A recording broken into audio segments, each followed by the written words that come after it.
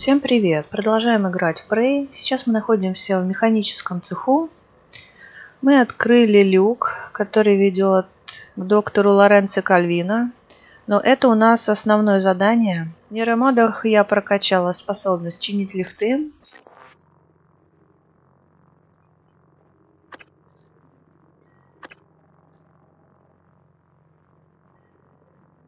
Вот нашла. Ищу уже в следующем уровне, ремонте 2. Вот, э, можно чинить гравилифты. А, это, наверное, не тот лифт. А здесь написано, что можем чинить гравилифты. Это, наверное, вот здесь, вот рядом с механическим цехом. Я все-таки добегу и попробую починить. В тех местах, где я уже была, где нету мимиков, нет никакой опасности, где я все зачистила, и нет ничего нового интересного, эти моменты я буду вырезать и сокращать. Просто здесь по кораблю можно перемещаться свободно, в тех местах, которые мы уже были, они не блокируются. Можно несколько раз возвращаться, если мы что-то пропустили. И для своего удобства, и для вашего просмотра, потому что мне нужно будет все равно это обрабатывать, выгружать намного дольше. Я поступлю именно так. Сейчас я хочу проверить все-таки, добежать до главного холла, потому что я, конечно, не уверена, что это задание исчезнет, если я пойду по основному сюжету. Вполне возможно, можно вернуться, а может быть и нельзя.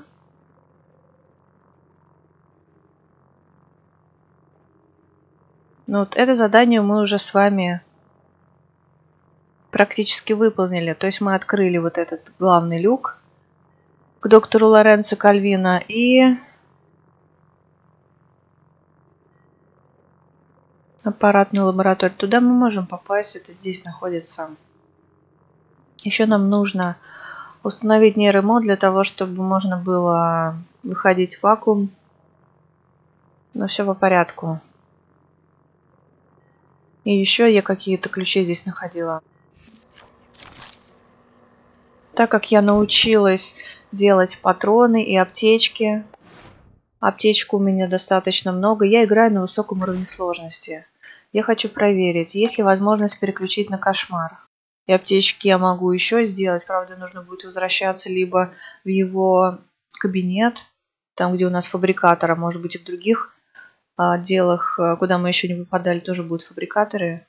И я вот хочу посмотреть здоровье врагов. Вот это, кстати, можно включить здоровье врагов, чтобы мы видели. А, тут все включено, серым отмечено. Что это?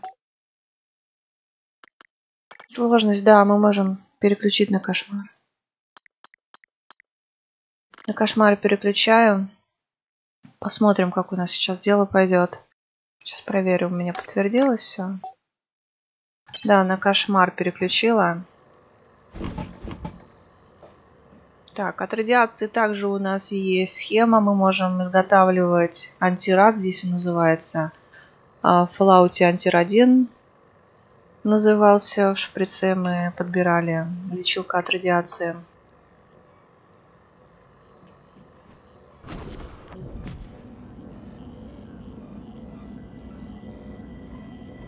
В общем, здесь мы все с вами прочитали еще в прошлый раз. И давайте заглянем в данные, ключи. Что же мы, какие пропуска мы подобрали? А, каюту Йоргана Торстейна, по-моему, мы там не были. Я хотела зайти, это как раз Дихолл. Я знаю, по-моему, где это находится. С правой стороны я несколько раз туда пыталась попасть. И внутри там еще один кабинет, связанный с заданием. Возможно. Здесь мы были, здесь мы были. А здесь, по-моему, тоже были. Вот здесь тоже были. И вот у нас еще коды есть. Какие-то двери были закрыты, какие-то коды мы еще нашли.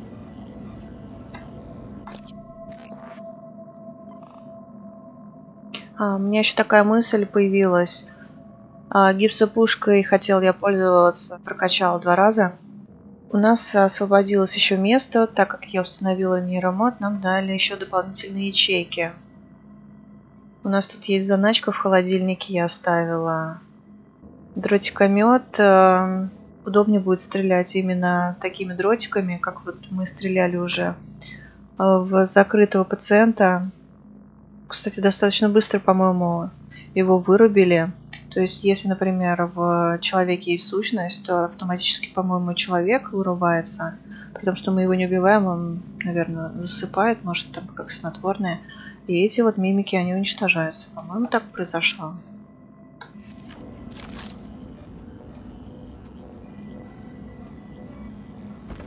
А здесь не так высоко. Если было бы выше, он бы мог повредить себе что-то.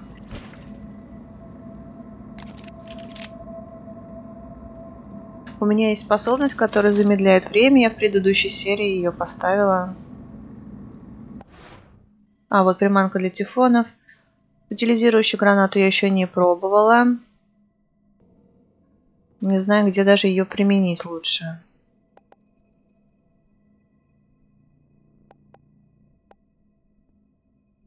А в пистолете боеприпасов... Подождите, я же много делала патронов, неужели я все потратила? У нас есть еще дополнительных три набора для костюма. После того, как мы нашли роботов, которые нас могут э, вылечить, и те, которые здесь работают на цеху, они могут отремонтировать наш костюм полностью. Видите, у меня еще остались. Нам это пригодится на кошмаре. Сейчас посмотрим, как будет играться.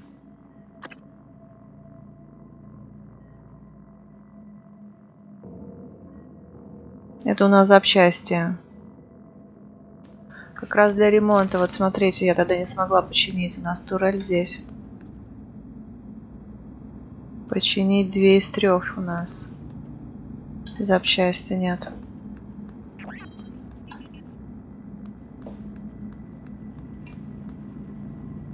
Вот этот вот люк мы уже открыли, я могу уже по основному заданию идти. Я все-таки вернусь.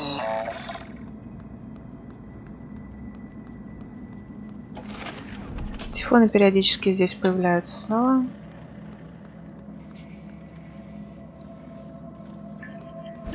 Каждый раз, когда я перезахожу в игру, мне кажется, они здесь возобновляются.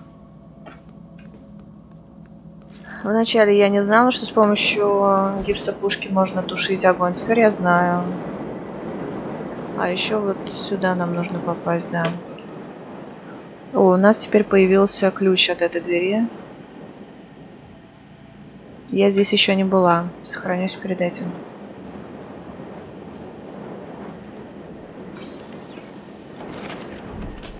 Смотрите, здесь у нас изучали лабораторию баллистики. Да, я здесь не была.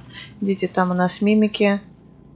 Как подопытные кролики сидят вот в этой капсуле.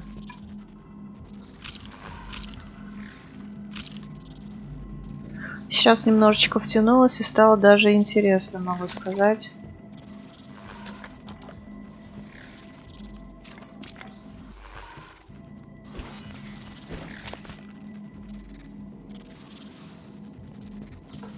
Так, сейчас, наверное, они выберутся на свободу, а скорее всего нужно будет что-то сделать. Сейчас я здесь все смотрю. Что по поводу взлома сейфа.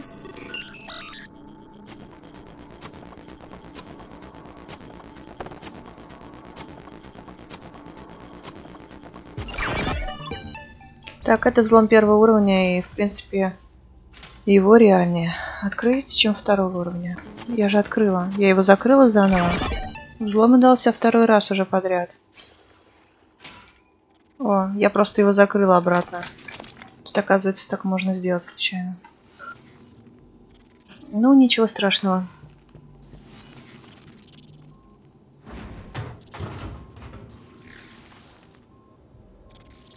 Если бы это был взлом второго уровня, нам пришлось помочиться.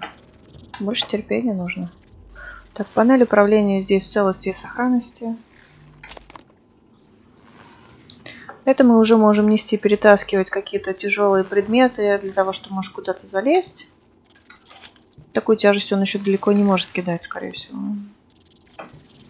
Даже вот можно просто на табуретке проверить. Вот, видите, табуретку уже может кидать. А вначале мог только книжки, какие-то легкие предметы, телефон, например.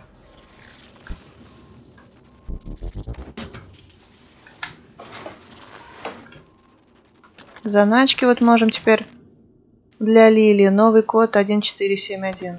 Так, в копилочку. Сейф отдела баллистики. Я его уже так взломала. А мы с вами мучились. Мы теперь получили ключ от сейфа баллистики. Это здесь.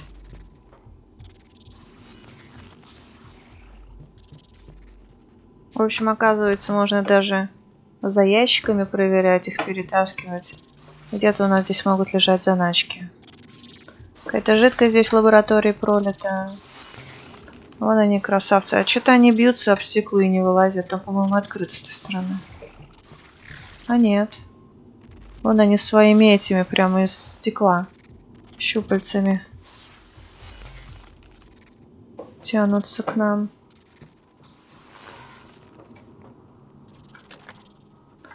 Запчасти, записка.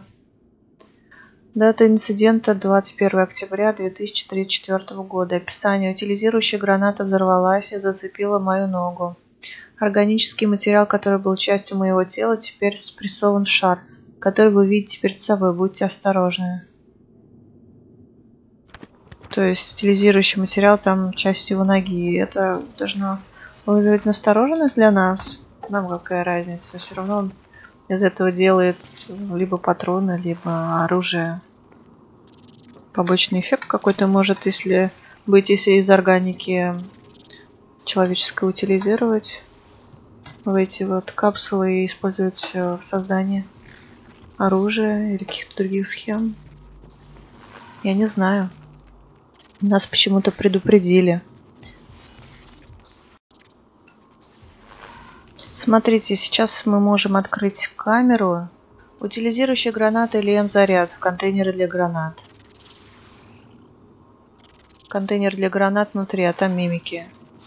Если мы хотим получить их, нам нужно открыть камеру. А давайте попробуем запустить утилизирующую гранату. Утилизирующий запуск утилизирующей гранаты.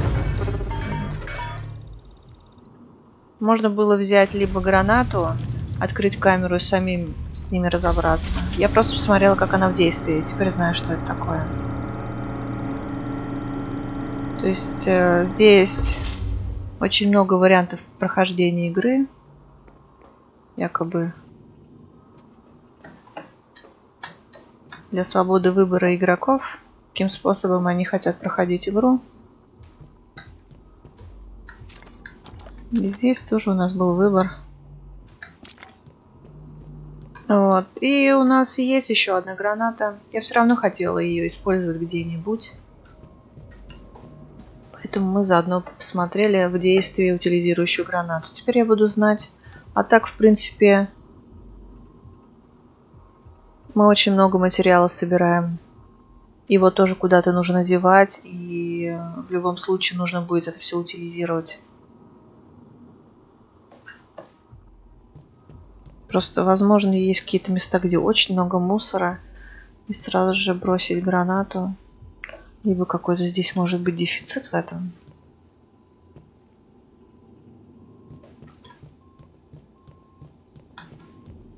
Так, это на шкафы, нет? Так.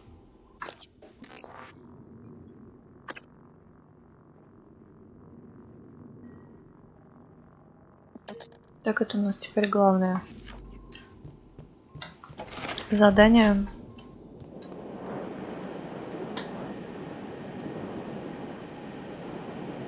Морг лаборатории психотроники. Слушайте, а вот этот морг с другой стороны, через кабинет доктора, ее можно попасть.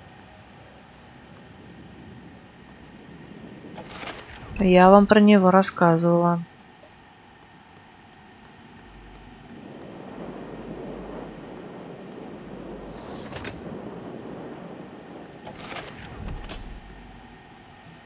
Починка. С той стороны мелькает что-то чинить можно.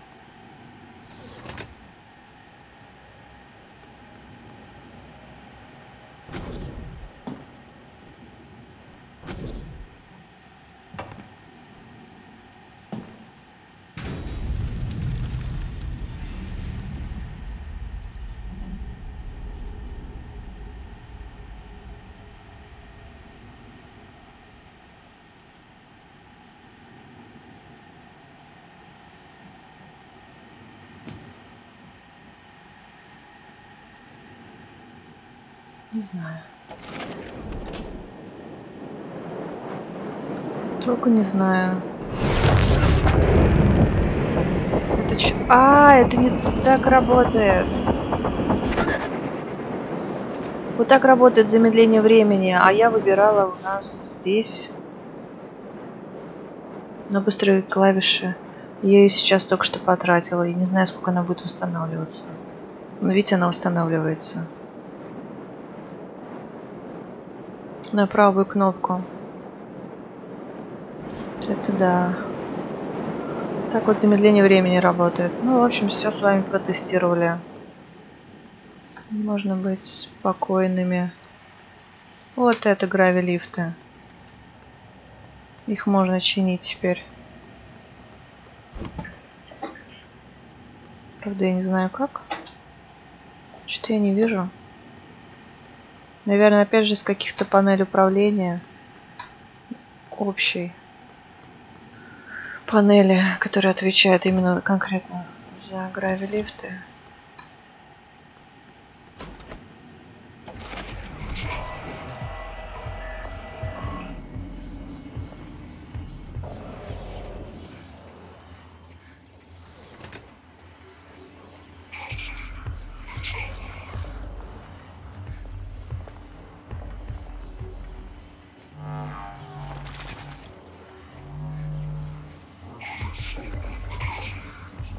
А, это мы с той стороны, где у нас ведут э, презентации. Он здесь как раз кого-то убил.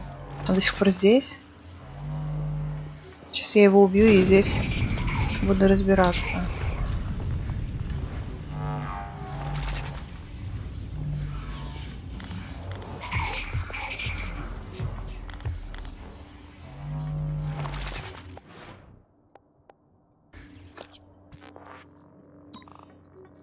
Мы подобрали тротикомет.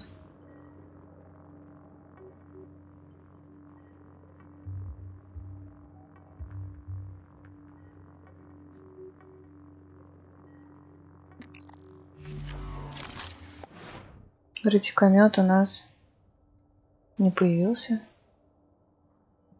Пять.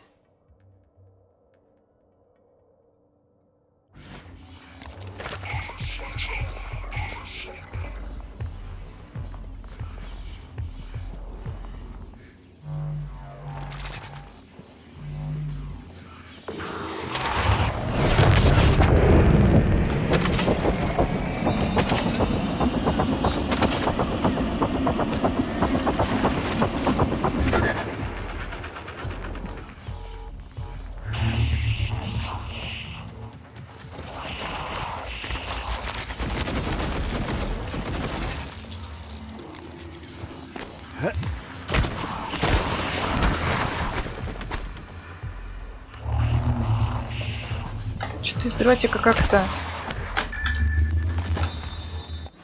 не айс получилось у нас.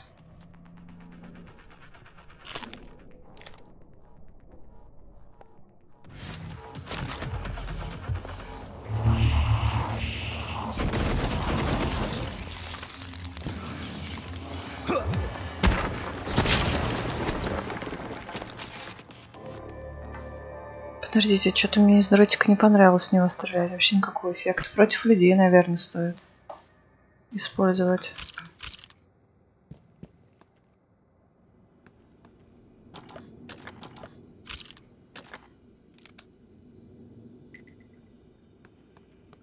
В общем, сейчас его потяжелее мы убивали, так как я на кошмар переставила.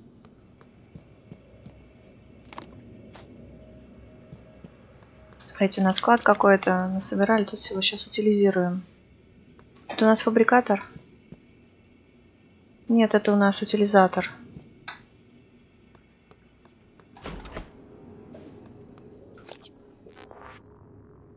Кинестический помощник. Crew X1 ускоряет восстановление выносливости. О, это чип. Чип в костюм.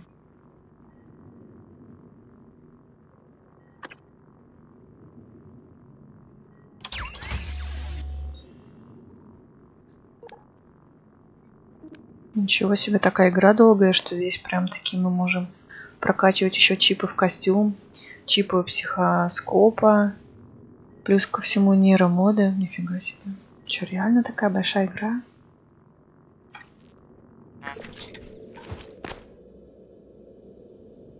Слушайте, а что это у нас такое-то?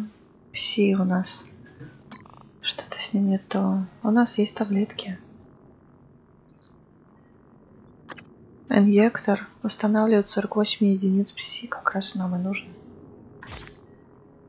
Хорошо, он нас испугался. После схватки с этим существом. Ладно, теперь я буду знать. Дротикомет почему-то у нас не установился. Я же его поставила на цифру 5.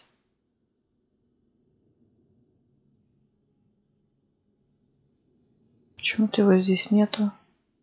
Внизу на панели видно, что он по цифре 5, а здесь нету. В общем, классная способность. По поводу замедления вы получили чип. Нажмите один.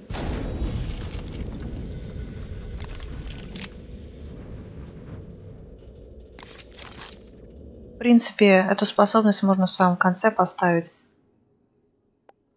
Боевая концентрация 20 секунд.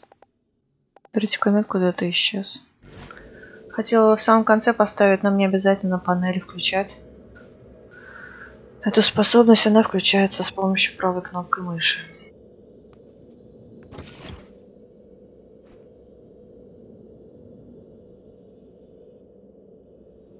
В общем, здесь прорванная труба. Огонь легко можно потушить с помощью гипса пушки. А у нас есть, по-моему, для оружия. А нет, это у нас запчасти, набор для ремонта костюма. Это не надо.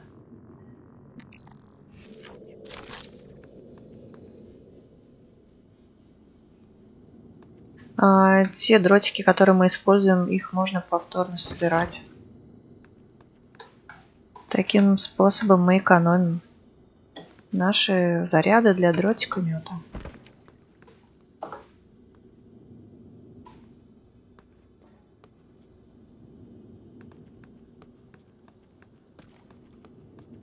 Он почему-то отсюда не уходил. Давно он уже здесь у нас обитал. Бил какого-то доктора. Я думала, он отсюда уже давно ушел. Оказывается, нет. Хорошо, что его слышно. Он издает такие громкие звуки, что его очень хорошо слышно. Давайте попробуем залезть.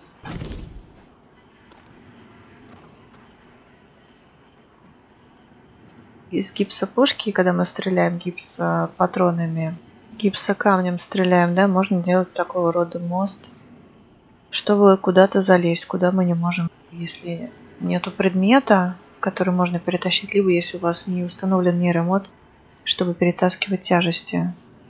Я беру только боеприпасы. А в принципе я сейчас возьму гипсопушку не прокачанную, сейчас мы внизу утилизируем.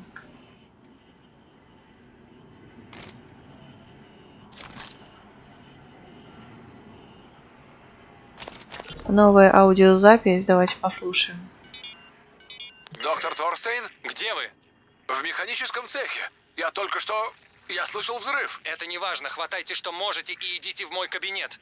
Мы эвакуируемся. Что? Что мне нужно? Нейромоды, экзотическую материю, скорее. Встретимся в моем кабинете. Да, сэр. И прихватите с собой гипс-пушку.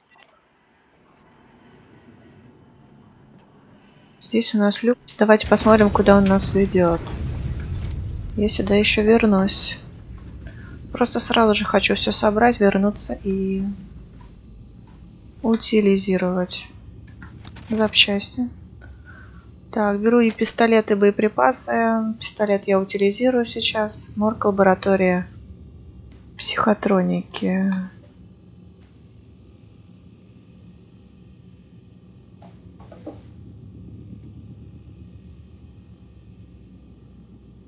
смотрю, можно как-то вылезти отсюда?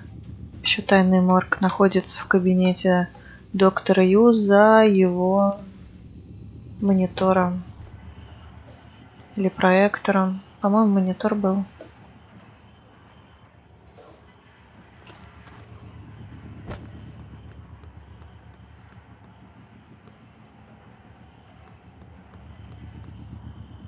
Не успел он убежать, эвакуация была. И мы могли бы успеть. Только у него... Хотел вот, да, что вспомнить. У него э, брат, старше он ему или младший, напишите мне, пожалуйста. Алекс сделал специально, чтобы после установки нейромода у него повторялся один и тот же день. И он вообще не помнил даже какие-то фрагменты после установки мода. То есть новые события, они как бы записываются. А Алекс сделал так, чтобы у него был только один день. Но после установки мода все, что все воспоминания, которые находились до установки мода, нейромода, они стираются. И мы читали запись в каком-то кабинете, а, то, что если кто-то об этом узнает, а тем более его брат, то Алекс очень сильно будет испуган. Алекс хотел подчинить себе силу вот этого главного Тифона. Он его изучал, с помощью нейромода он хотел себе внедрить этот нейромод. То есть сначала хотел, чтобы эту силу установить нейромод, как-то поглотить силу из этого тифона, и потом внедрить себе этот нейромод, чтобы управлять его силой. Мы читали запись. И он очень боялся, что его брат об этом узнает. Вполне возможно, именно для этого он стер ему память, чтобы его брат не смог вмешаться, потому что, видимо, у них разные взгляды на работу, на исследования, взгляды, как у ученых. Возможно, у нашего доктора Ю более гуманные в целях э, для улучшения жизни людей, для упрощения жизни людей. Но не как для того, чтобы мучить людей как подопытных. Ухудшать жизнь людей, которые необходимы для исследований чтобы достичь своих целей. То есть э, а у Алекса вижу цель, не вижу препятствий. То есть человек, видимо, может идти по головам. Как видите, часто такое бывает. Вроде э, растут в, вроде растут в одной семье люди, да. А тут уже независимо от этого бывает, потому что характер он формируется до 8 лет, и порой ребенок уже рождается с какими-то определенными чертами – да, они родились у одних родителей, но генная база, которая находится у них в генном коде, взята из огромного древа рода, который идет и по женской, и по мужской линии, начиная от прабабушек и прадедушек, заканчивая уже там далеко за шестое, седьмое поколение. Поэтому это такая тема сложная. Вот. И один ребенок берет одни черты, не обязательно у родителей, а через поколение у кого-то, у прабабушек, у прадедушек, да а другой ребенок по какой-то причине берет другие гены. Еще есть такая теория, когда мужчина и женщина в любви создают дитя, точнее они его делают. Вы все знаете процесс делания детей. Так вот, э, так же как и мысли влияют на нашу жизнь, негативные и положительные, в этот момент, когда родители закладывают определенные мысли, установки, каким они хотят видеть ребенка, вплоть до черт характера, так, кстати, и создается ребенок это очень древние знания, которыми пользовались наши предки древних славян. Это очень было важно, они в это верили. Ну, там есть а, процесс и а, поэтапные пункты, которые нужно было соблюдать перед тем, как а, зачать ребенка. То есть нужно было там поститься, воздерживаться, вести праведный образ жизни там за 6 месяцев до этого, да у кого там какая вера, у кого какие традиции в семье. И дальше уже вот э, в этот момент мать э, с отцом обсуждают этот момент, каким они хотят видеть ребенка, и закладывают вот эти вот черты. А когда э, ребенок создается хаотично, то есть э, у кого-то была мысль, они это не обсуждали. У отца одна мысль была, каким он хотел бы видеть ребенка, а может быть даже просто мимолетная какая-то мысль у матери совсем другая. И получается такой вот микс. А душа, она состоит из энергии, энергии всего рода, и в том числе родители закладывают эту энергию. Душа, она бессмертная, бесполая. Вот этот дух, он приобретает вот как раз те черты, которые как попало, как получится делается.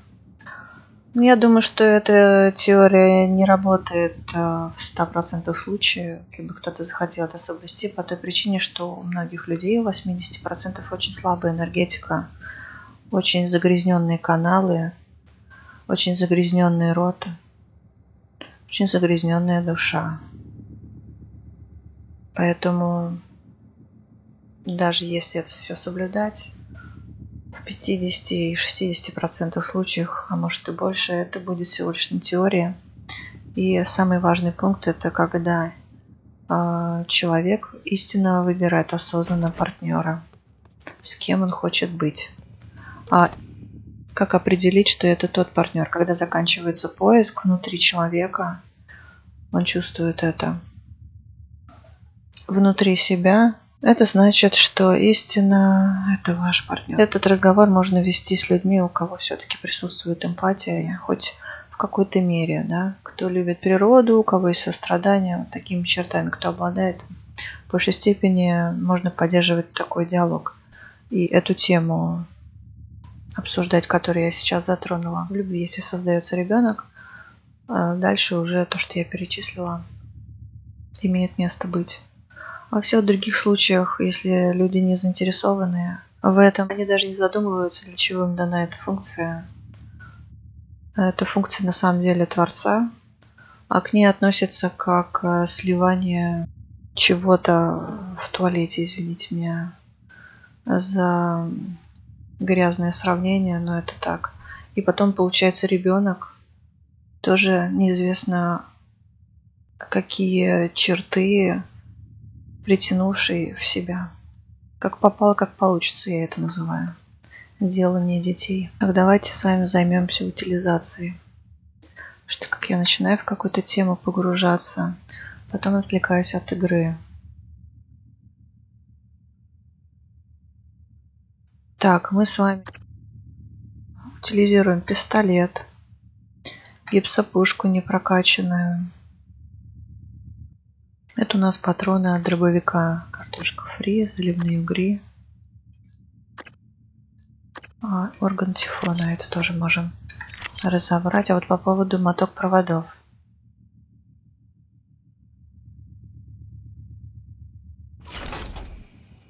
По-моему, мне было острая необходимость, и я их уже перерабатывала.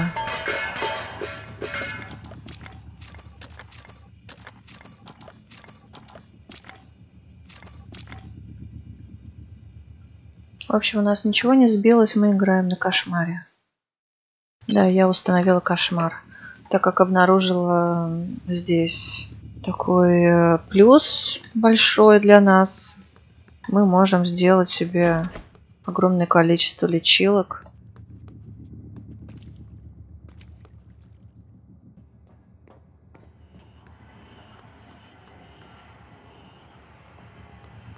Еще хотела с этой стороны проверить. Что у нас здесь? А, тут я уже была, да, это выход.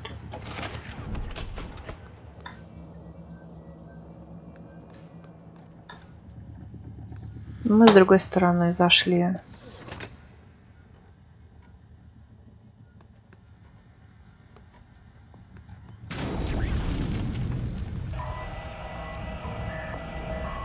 Периодически нас пугают всякими звуками и вроде бы уже к этому привыкаешь и думаешь, что да нет, это для атмосферы. Тут постоянно потряхивает эта станция или корабль, я не поняла. В космосе мы находимся. Да, а потом внезапно слышишь шаги. Сначала я спутала это, думала помехи на экране телевизора здесь, в коридоре, а потом мы сюда вернулись второй раз, оказалось, что это у нас Тифон здесь прогуливался.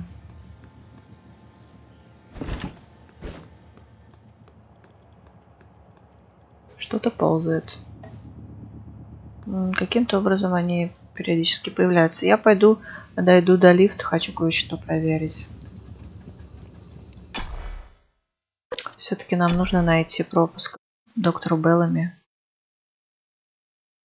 Он находится не в своем кабинете. Нужно до него сейчас добраться, взять у него пропуск от его кабинета и вернуться в его кабинет. Травмпункт. Доктор Беллами. А, нет. С ним что-то произошло, и его отправили в травмпункт. Нужно было срочно, по-моему, сообщить, что что-то с ним не так. А возможно, не успели. И он был э, отправлен туда уже после смерти.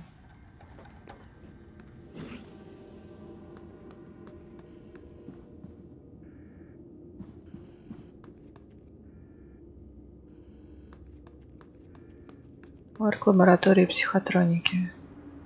Как раз через кабинет.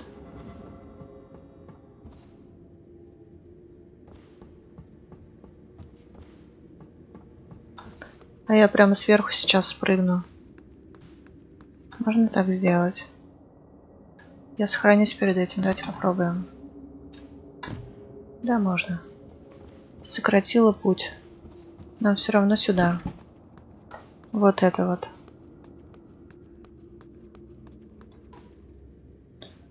Пропуска нету. Надо починить лифт. Мы можем его починить? Надо туда. Блин. Сейчас попробую откатить сохранку. Туда можно как-то спрыгнуть? Это я откуда спрыгнула? А нет, с того этажа надо выше. А как нам выше подняться? Как нам починить? Что-то за звук такой. А, а нет, там мы были, там мы были. А, гипс... А, заряды от гипса пушки выдерживают вес человека. Мы читали с вами. Мы сейчас можем взламывать сейфы второго уровня, но для этого нужно возвращаться практически в самое начало. Мы пропустили там сейф. Но мы его не пропустили, у нас не было этой способности.